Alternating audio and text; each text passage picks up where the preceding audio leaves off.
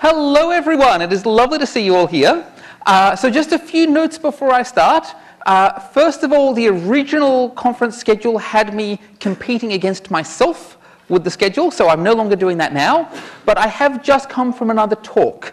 Uh, so if I seem, uh, uh, if I start talking about fan fiction or anything, it's because I still have to switch modes. Um, so today I'm going to talk about managing all of your tasks using Task Warrior. I'm going to talk fairly fast because I've got a lot of material to cover and I've got a half hour time slot. More or less. More, more or less. Okay, well, I, I'm going to set this to be a half hour time slot. Wonderful. Um, show of hands for me, just to, out of curiosity, who in the audience has used Task Warrior before? Oh, a few of you. Who is stuck with Task Warrior? None, one. Okay, cool, excellent. Um, so what is Task Warrior? Why should you care? So my story is that I spend a lot of time procrastinating. This is, this is my top skill. Uh, if you're following the LCA hashtag uh, in the lead up to the conference, you would have seen me saying, oh, I need to write my slides, I need to rehearse my talk, time to do my laundry. Um, I got to inbox zero out of not wanting to rehearse my slides. It was fantastic. Um, but I'm very, very easily distracted. Um, I have a terrible, terrible memory. And so for me, I don't do anything unless I have some sort of a task management system to help me along with that. And I have worked, or tried to work, with dozens of systems which have been out there. And I have discarded all of them except for the one I'm going to show you today. The reason for that is because very often I would find these systems which were simple and easy. They were super easy to pick up, they were easy to use, they were missing features like crazy. That seemed to be a theme. I would also find proprietary systems, and proprietary systems would sometimes be great, but I couldn't add features.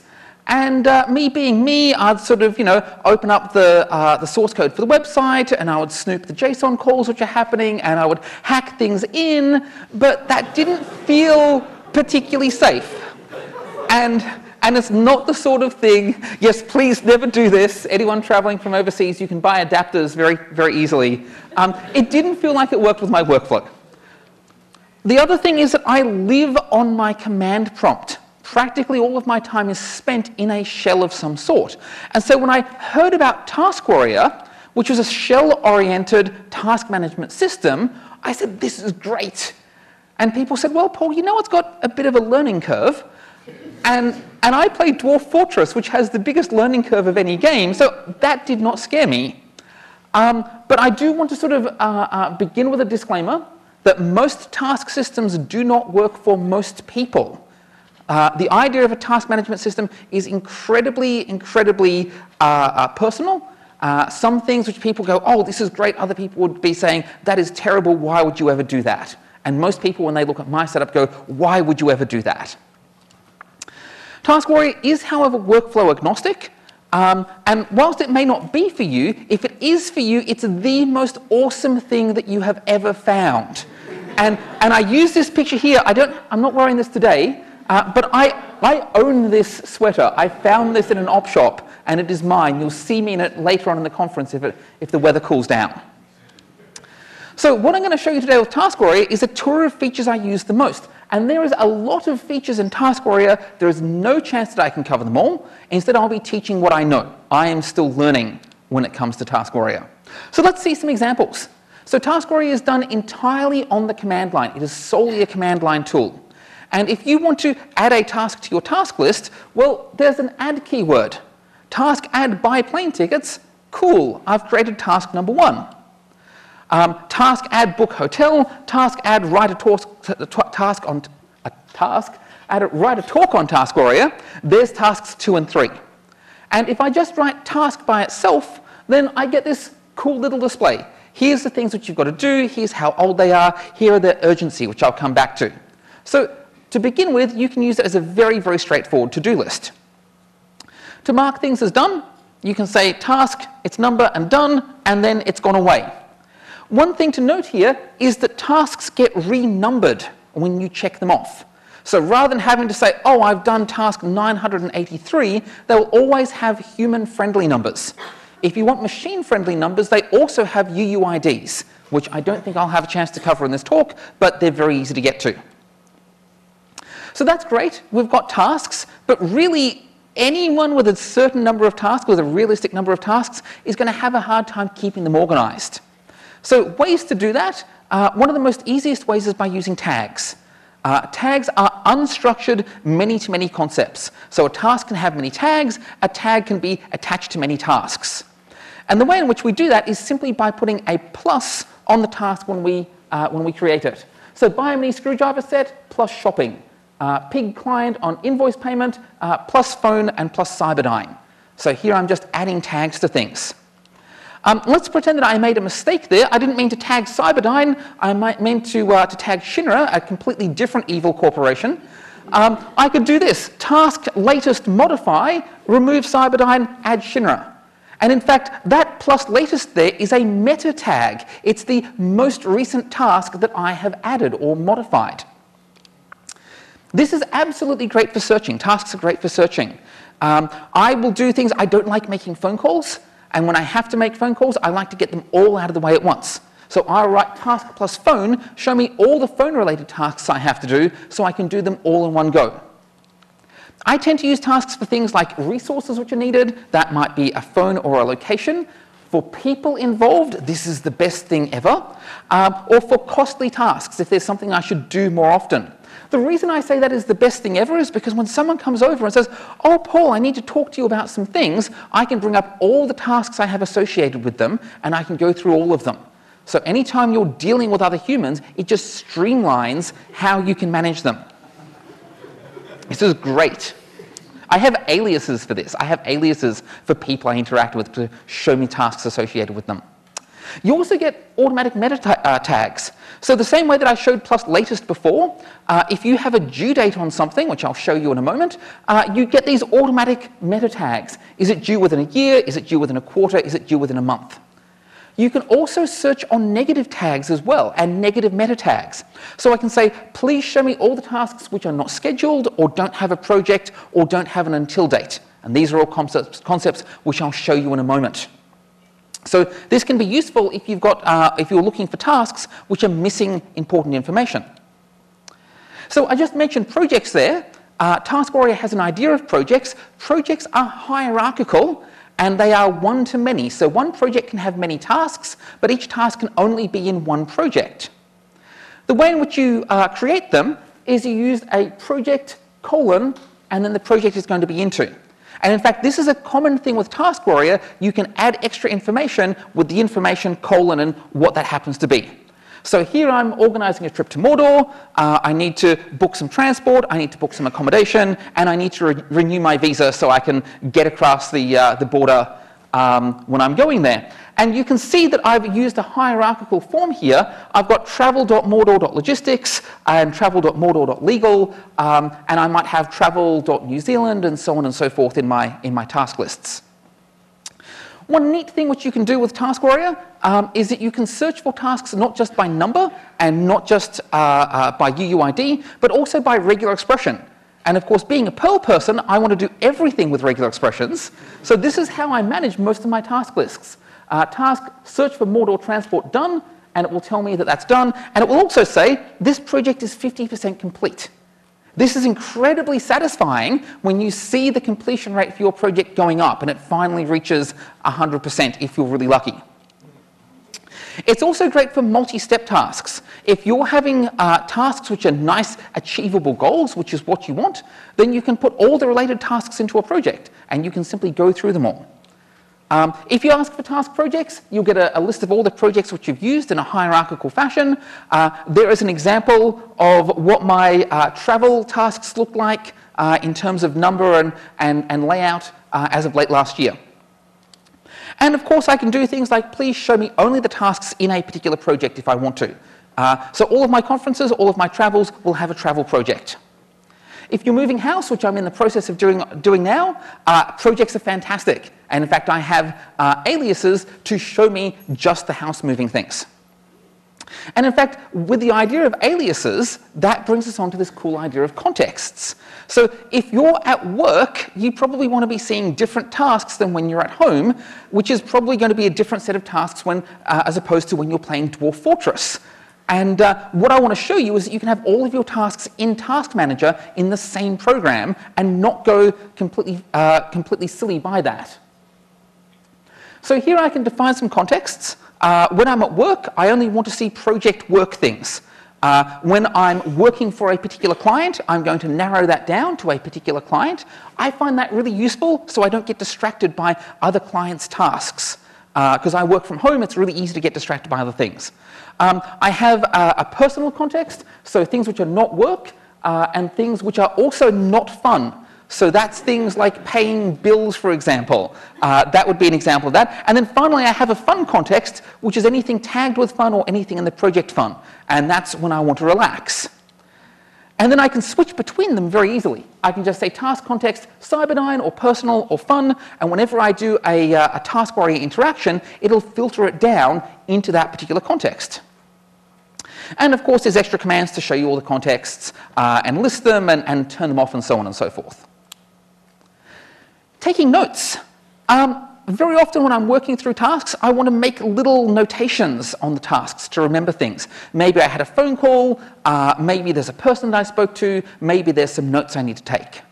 Uh, in Task Warrior, these are called annotations, and they're really easy to do. You can simply say task, the number of the task or a way of identifying the task, the word annotate, and then what you want to put down as an annotation.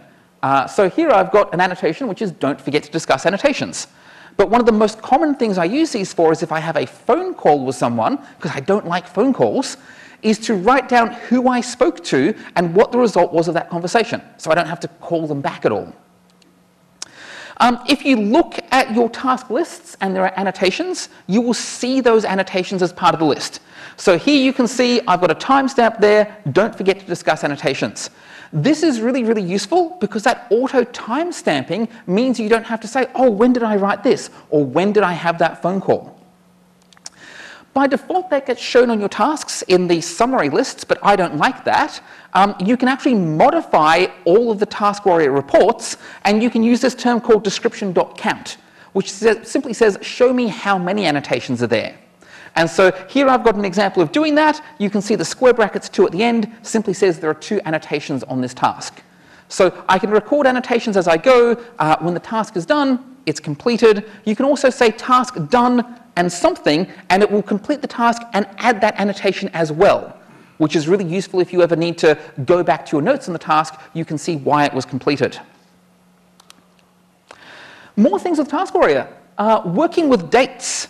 Uh, usually we have tasks which need to be done by a certain time uh, or have certain priorities associated with them. Um, so I'm going to use the example of birthday cards. Um, so this is, this is not my dad's birthday. I love my dad. I'm not going to dox him uh, in a public talk. Um, but let's pretend this was my dad's birthday and I wanted to send him a birthday card. Um, this would be a way that I could do it. So what's that wait keyword doing? Well, the wait keyword says hide my task until this date. So it'd be weird if I sent my dad a, sent my dad a birthday card nine months before his birthday. So, so let's wait until it's approximately his birthday before I send the card. And of course, there's a, a report to see uh, all of the waiting tasks if I want that. I can also use, when working with dates, I can use relative dates. So I could say, hey, take this task and modify it until, wait until tomorrow. In other words, I don't want to see it until the next day. I can say, uh, please wait this five extra days, so don't show me this task for the next five days. And, um, but what's actually really useful is not just hiding tasks, but also scheduling them. And a scheduled task is urgency boosted on and after the date which you specify. So here, don't show me this until, don't show me this until the 12th, and schedule me to actually send the card on the 15th. So I get a little bit of advance notice that it's coming up, and then it gets an urgency boost once that scheduled date has, has rolled around. If you don't want to see the tasks coming up, uh, there is a report called task ready, which only shows you things which are past their scheduled dates or don't have a scheduled date. Um, this is very handy because I can say, okay, I'll do this thing on Monday, and then I don't have to see it in my task list until Monday when it gets an urgency boost, when I actually uh, have more of a motivation to run it. And uh, related to all of these is the until keyword, which is probably my favorite keyword in Task Warrior. So what until does is it says that if I reach that date, delete the task. If I have not sent my dad a birthday card, if I am a bad son, and it's way past his birthday and I haven't sent him a card, just delete it from my task list automatically. Don't make it weird. So, so this is wonderful. This is absolutely wonderful. And you can also have relative dates as well. So I can do things to say, hey, this is due on a particular date. Uh, schedule it to be three days before the due date. So three days before my dad's birthday, I should send that card. Wait until six days before, before it even shows up on any of the reports. And if it's been three days after dad's birthday, then make it go away. You can also do this relative to other tasks as well. And this becomes very, very powerful because if you have something like a flight or a conference date or something else, you can mark, mark tasks relative to that event. So I might have uh, a conference which has an ID of 8, and I could say, hey, I want to book flights and schedule to do this 30 days before the conference happens. And if I still haven't booked those flights and it's the day of the conference, well, it should just go away and I'm probably in trouble. As you can imagine, this is amazing for scripting. Um, one thing which I haven't done yet, but which I want to do, is whenever I'm going to a conference, I want to say, you know, Task Warrior, new conference, whatever, and it sets up all the things I need to do. Arrange my flights, arrange my accommodation, um, make sure that, uh, you know, all of my travel documents are up to date, so on and so forth. Because I have these things which repeat again and again and again. I've also used the word urgency a few times. Um, some tasks are more important than others. And in Task Warrior, this is a calculated uh, value. So if I say that something is due on a certain day, maybe it's due in seven days, then that task which is due sooner will receive a higher urgency. So booking hotel has no due date, it's got a low urgency. Writing a, a talk on Task Warrior has a higher urgency because of that due date. How is it calculated? Uh, well, tags, projects, deadlines, priorities, all of these things give you more urgency, but you can configure every part of this. So I can do things to say that if something has a costly tag, it gains an extra three points of urgency. Or if it has a leisure tag, it gains no points of urgency. Normally tags give you one extra point. And of course, if I look at a task, it can give me all the stuff which is in there. Related to this is an idea of priority. Um, I can say things have high priority, or I can shorten that down to uh, just priors H if I want. And this is the thing which most people are familiar with, this idea of high, medium, low, and none, although I actually prefer to rearrange those, high, medium, none, the default, and then low. If I haven't given something a priority, it's got this sort of middling priority. And because everything is configurable, I can write things in my Task Warrior RC which simply say, here's my priority values, high, medium, nothing, and low, and here's the coefficients which they gain. Um, here I'm just swapping the low and empty coefficients from their defaults. But the real reason that I love Task Warrior more than anything else is for the tools and plugins which it has. So uh, Task Warrior has a third-party tool called Task Open, which is free and open source, and it opens resources in annotations. And this is so incredibly convenient.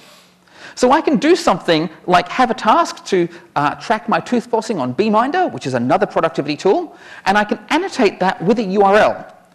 And if I then say task open with that ID, it will open up the Beeminder URL for me. So it spots the URL and it opens that up in my browser, which is fantastic. If I have a task to finish a report and I link that to a spreadsheet or something and I run task open, it fires up LibreOffice for me and so I can then work on finishing that report. This is my favorite though. If I annotate something with the word notes, with nothing else, just the word notes, and I task open it, it opens it up in Vim. And I can write as much as I want, or whatever your editor happens to be, but Vim is the best. You can, you can write as many notes as you want there, and they're stored against the task. And I do lots and lots and lots of writing notes against tasks. This is perfect. It also has lots of options, but I don't have time to show them here. The other thing which is amazing with Task Warrior is you can work with other people. So it would be crazy if I had to sort of, you know, ask all of my coworkers and colleagues to use Task Warrior as well. Um, but instead I get them to use, you know, sort of more regular tools like, like Jira and GitHub and Trello. And there's this cool thing called Bug Warrior, which is written in Python, and it gives you access to everything. And when I found this, I was just over the moon. It was amazing. So what does it let you hook into? Um, I use these for GitHub, Trello, Jira, and Gmail. Uh, so if you send me an email, that can go onto my task list. But it also hooks into everything else, Bugzilla and GitLab and Trac and Gerrit and stuff I've never heard of. It's amazing. And this means I can have all of my tasks in one place. And this has been my dream forever. That I don't have separate task lists for work and for Dwarf Fortress and for home and for my guild and for all of these other sorts of things. I have them all in one place. And you do this simply by setting up a Bug Warrior RC with some configuration. Um, so here's what that looks like for GitHub. Um, I turned this on once and it gave me hundreds and hundreds and hundreds of tasks because it was all the pull requests and bug reports and everything else for all the software and I got very scared and turned it off. But in theory, you could load everything in from GitHub and um, you simply have your login and you have a token and it pulls it all in. Um, I use Trello with my partner uh, Trello is really, really good for like writing little to-do things. And so I have stuff like this. I have Trello Kate. Um, it's a services Trello. I've got some secret things there. If something's in a done list, it's not a task. Um, and I want to include specific boards so I can have them uh, be categorized into certain projects later on. The other thing which is important is I don't want tasks to show up unless they've actually been assigned to me. Because these are shared boards, unless it's been assigned to me, it's probably not my task or I don't need to be doing it so I can add that in there as well. I can also customize the title and the project, which come in from uh, Bug Warrior uh, configurations. Um, so here I can say that uh, I've got a description template, which is the name of the Trello card. So whatever the name of the Trello card is, that's what turns up on my Task Warrior list. By default, it will be something like square brackets Trello whatever. I don't want the square brackets Trello. I just want its name. Um, and likewise, I'm going to give it a project, which is kate.trello. Um, so it gives me a project, and that can be uh, set on a per board basis. So we have a, a, board for moving house. Everything goes into a moving project because of that. And the neat thing is, if something is then marked as done in Trello, or you close the bug on GitHub, or you do those other things, it also gets marked done in Task Warrior as well. So you don't have to be uh, closing things in two places. You can just close it in one place. It fits in with workflows really, really nicely. Something which was absolutely game changing for me was being able to set this up with Gmail. And if something is pinned or something is starred, if you want to use that mechanism, it turns up on my task list automatically. So if I pin something, if I intend to work on it later, it shows up in GitHub. And again, yeah, it's cool. And again, you can also manipulate descriptions there. Uh, I have a Gmail colon and the email subject when that goes into my uh, task list. But I've also said, hey, don't modify the description if I've modified it. Because usually people don't have good subject lines, I can go and change those. You can enable and disable services. Uh, so you can uh, have a service which you no longer use, you just remove it from that list of targets and it's gone. The last thing which I want to talk about um, is how I ignore my to-do lists every time, yes, every time I get a to-do list, I go, this is great, I use it for a little while, and then I start ignoring it. So what's the thing I can't ignore when I'm at my laptop? I cannot ignore my shell because I spend all of my time in my shell. So what I ended up doing is shell prompt integration. I have, I have uh, um, uh, Task Warrior integrated into my shell prompt. So cool thing, bash RC, some of you might have heard of it.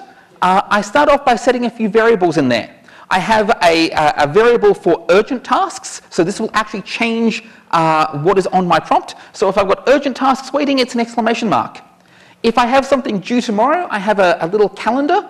Uh, lots of people have commented that, that my shell prompt is a slice of cheese. It's not, it's a, it's a little calendar. If something is due today, it is a screaming face. and if something is overdue, then I have a skull and crossbones. And, and, and when I see that, it's like, oh no, I've missed something. And then once I've got those, I can simply set up a little function called task indicator. Um, so here I've got an alias which is just task.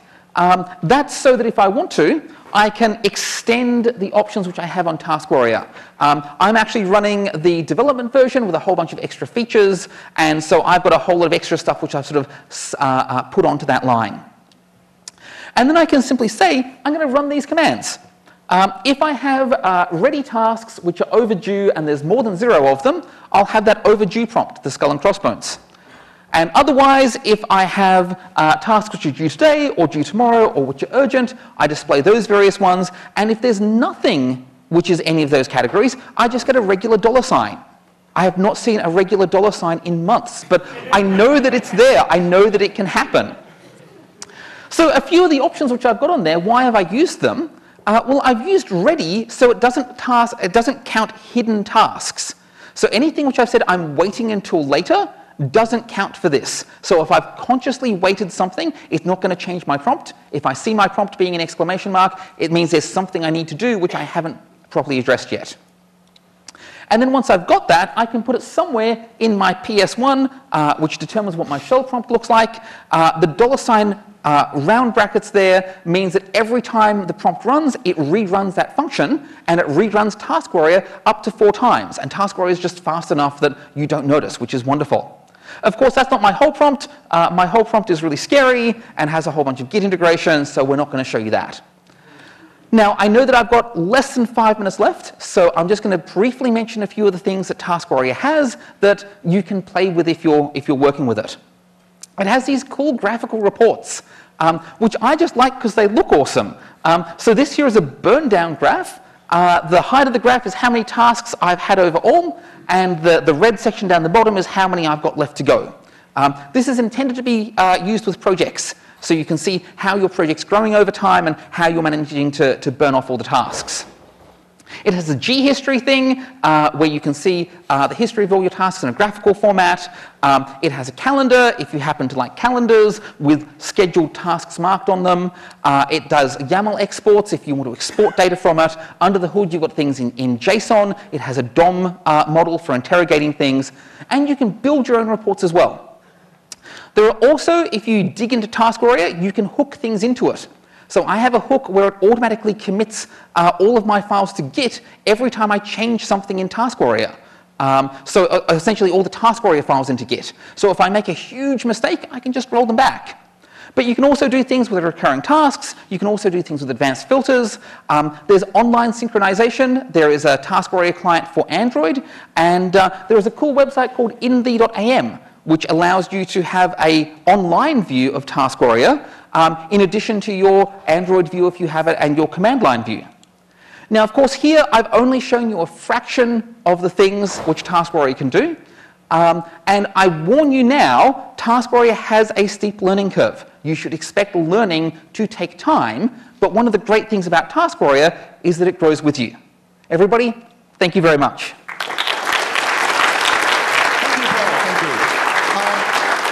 If uh, Matt Palmer can come and plug in at the moment. Oh, yes, of uh, course. Then uh, we can take some questions while, uh, while that happens. Okay, um, here and then here. Hi, Paul. I'm curious as to how much uh, time you spend fiddling with the uh, urgency coefficients. Sorry, the question was how much time have I spent fiddling? With the urgency coefficients. Not that much. Uh, urgency coefficients I found worked pretty well out of the box. So I've set a couple of things with projects and a couple of things with tags, but the rest are just wonderful. One of the nice things with urgency is the closer you get to a due date, it asymptotically increases the urgency to the due date and then beyond the due date as well. So usually I'm, I'm very much a sort of due date driven person. Um, so the, the most due thing is the thing I'm usually working on. Um, so no, I haven't spent too long fiddling with them. They've been wonderful. Any other questions? No, Paul. Up here. Oh, oh yes, hello. Does um, Task Warrior support dependencies at all? So if one task needs to be completed before another? Oh, yes. So the question was, does Task Warrior support dependencies? Absolutely it does.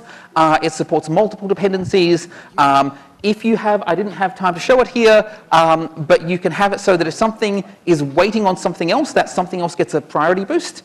And you can also have dependency urgency inheritance. So if A depends upon B and B is really urgent, A becomes really urgent as well. And that is like it's made for me. It's wonderful. So yes, it does dependencies. Yes. written in Perl. Um, so the question was, is Task Warrior written in Perl? One, one word. One word answer. No. Okay, everybody, please thank Paul Fenwick. Thank you. Yeah.